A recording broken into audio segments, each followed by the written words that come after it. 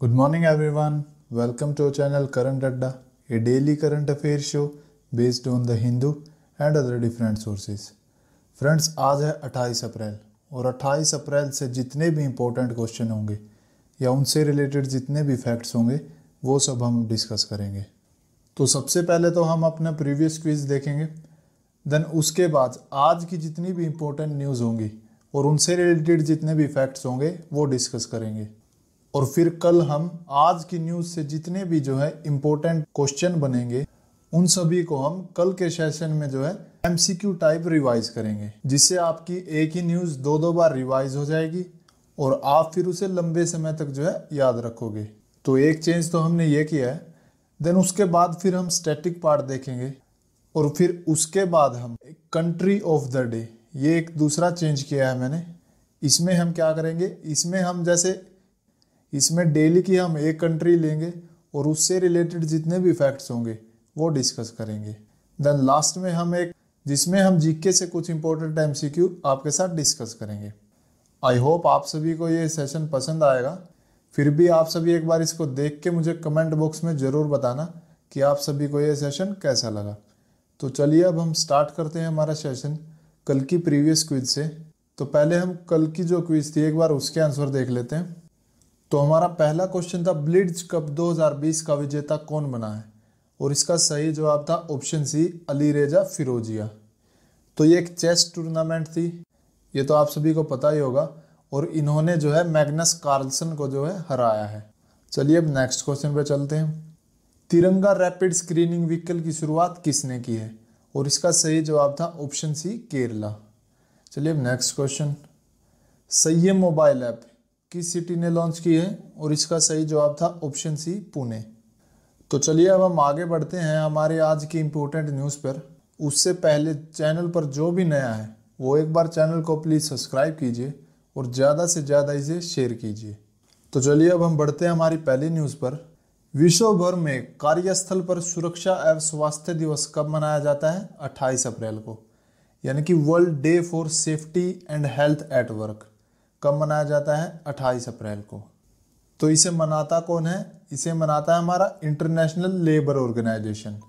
और इसका उद्देश्य क्या है? इसका उद्देश्य है कार्यस्थल पर सुरक्षा और स्वास्थ्य को जो है बढ़ावा देने के लिए हर साल 28 अप्रैल को यह दिवस मनाया जाता है।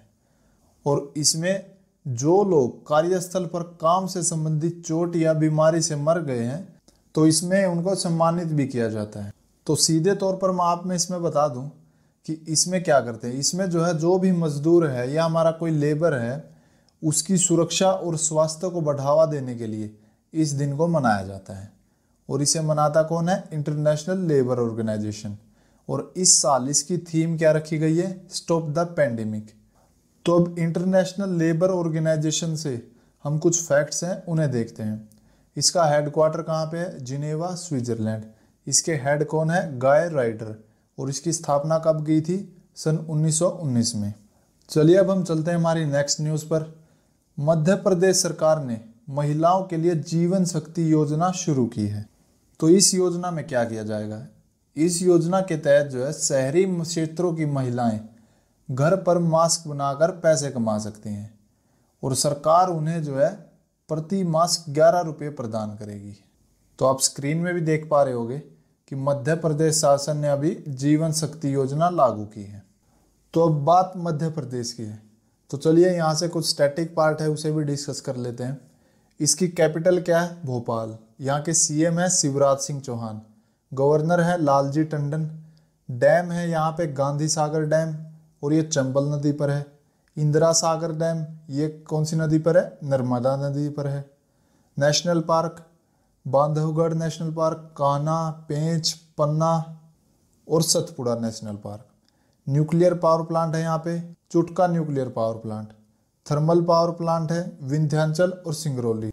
लेक है यहाँ पर, भोजताल लेक, मोती लेक। तो मध्य प्रदेश से हमने इतने फैक्ट्स डिस्कस किए हैं। आई होप आप सभी को ये पसंद आए होंगे।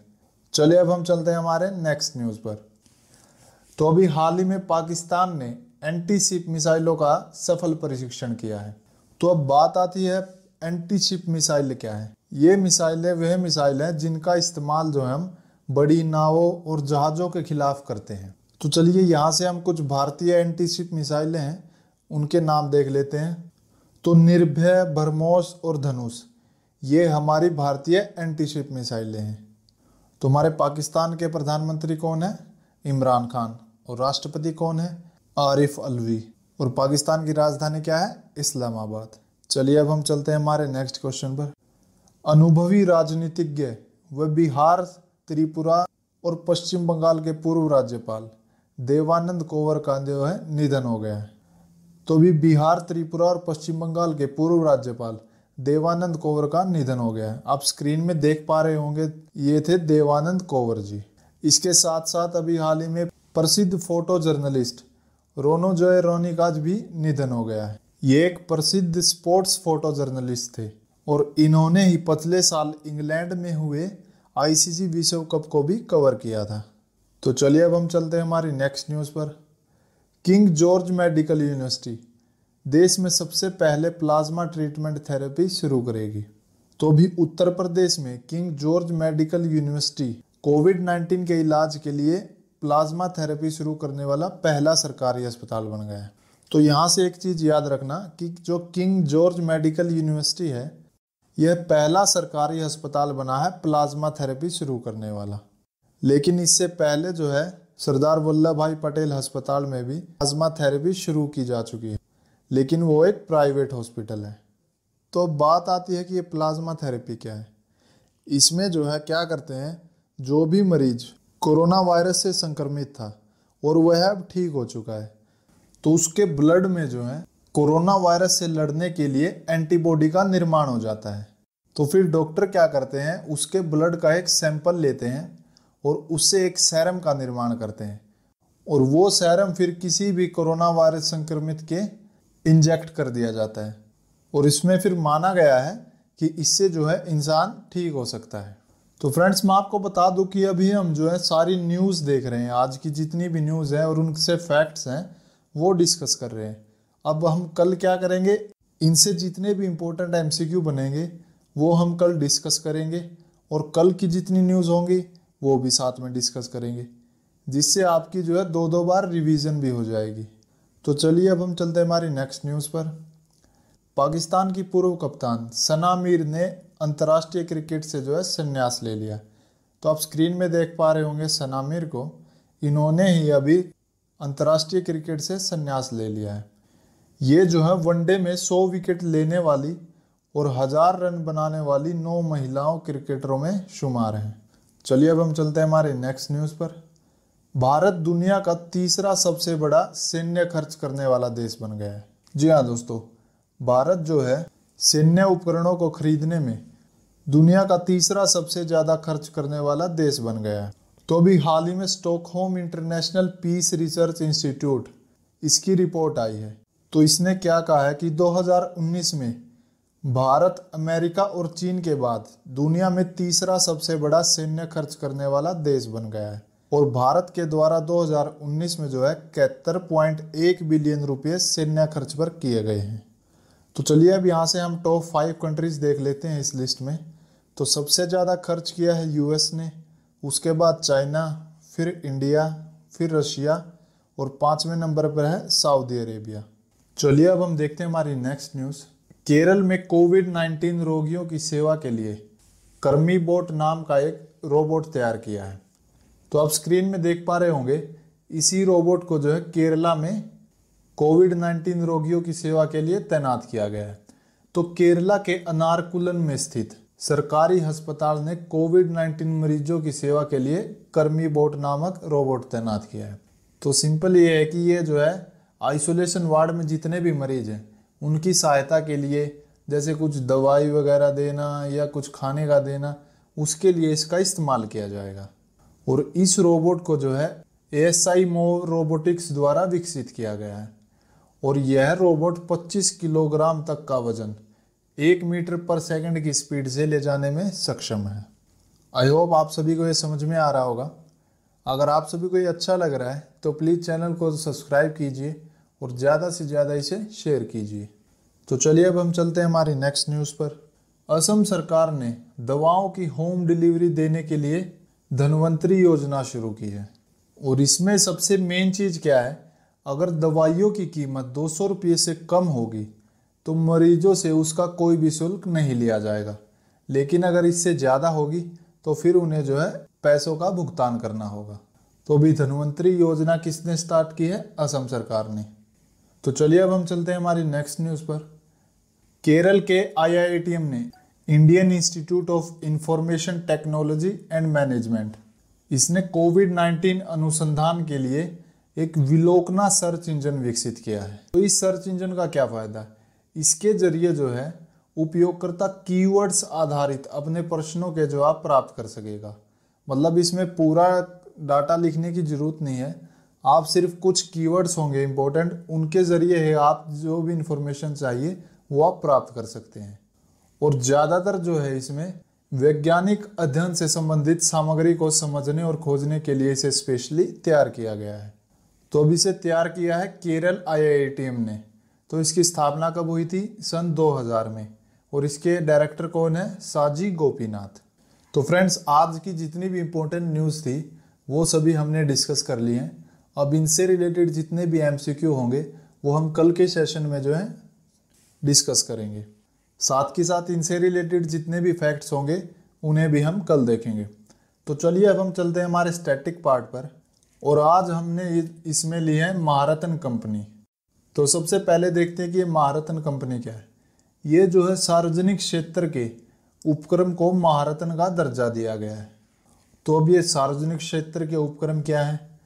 ऐसे उपक्रम जिसमें सरकार की हिस्सेदारी इक्यावन परसेंट या उससे अधिक की हो। मतलब जिसमें गवर्नमेंट के शेयर इक्यावन परसेंट या उससे अधिक हो। तो उनको हम सार्वजनिक क्षेत्र के उपक्रम का दर्जा देते हैं। तो पहले जो है भारत में कुल आठ महारत्न कंपनियाँ थी। पर अब जो है दो और नई कंपनियाँ जुड़ गई हैं। तो वो दो कौन सी नई जुड़ी हैं? हिंदुस्तान पेट्रोलियम कॉरपोरेशन लिमिटेड और दूसरी है power grid corporation of India. तो चलिए अब देखते हैं महारत्न का दर्जा पाने के लिए क्या क्या मानदंड हैं जिन्हें उन्हें पूरा करना होता है। तो सबसे पहले तो वो एक नवरत्न का दर्जा प्राप्त होना चाहिए उस कंपनी को। उसके बाद पिछले तीन वर्षों की अवधि में उसका सालाना जो व्यवसाय है वह पच्चीस हज़ार करोड़ से अधिक का होना चाहिए। उसके बाद जो है, पिछले तीन वर्षों में उसका औसत वार्षिक शुद्ध लाभ, वो भी जो है पाँच हज़ार करोड़ से अधिक का होना चाहिए। मतलब लगातार तीन वर्षों से उसका औसत वार्षिक शुद्ध लाभ पाँच हज़ार करोड़ से ज़्यादा होना चाहिए। साथ के साथ उसका वार्षिक व्यवसाय भी जो है, पच्चीस हज़ार करोड़ से ज़्यादा का होना चाहिए।